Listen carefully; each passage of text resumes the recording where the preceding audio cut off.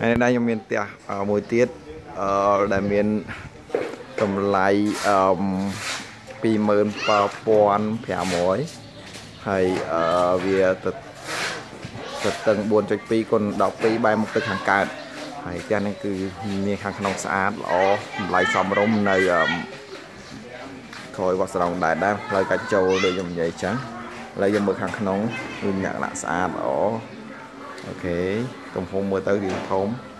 ហើយអឺ double អត់មានប្លង់សេទេគឺប្រក់ប៉ាំងសៃយើងមើលខាងក្នុង okay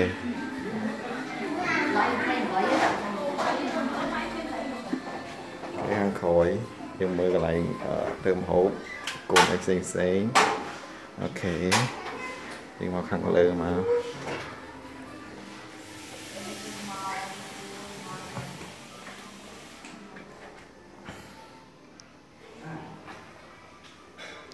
ទុកខាងក្នុងមានទុកទឹកមួយទៀត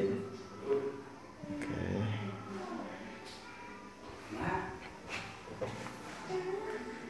ហើយ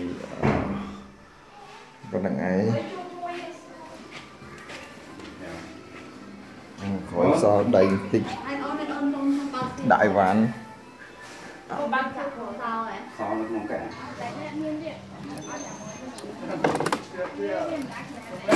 ហើយយើងជិះធ្វើដំណើរទៅផ្លូវក្រៅទៅចាំវាម្ដុំ ત્યાં ខ្ញុំដាក់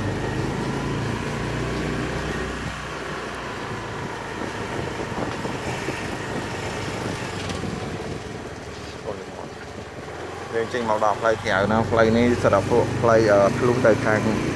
វត្តសរោងណែតអីបាននេះផ្លូវផ្លូវចេញទៅក្រៅណានេះផ្លូវខ្ញុំដាក់ផ្ទះនោះ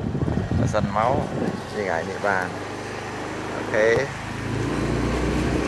នេះគឺជាផ្ទះដែលខ្ញុំលក់ដំបងដាក់លក់ដំបង okay ចឹងប៉ុណ្ណឹងហើយហើយមិនមិនចាំខ្ញុំដាក់តភាគវីដេអូទៀត okay បានអញ្ចឹង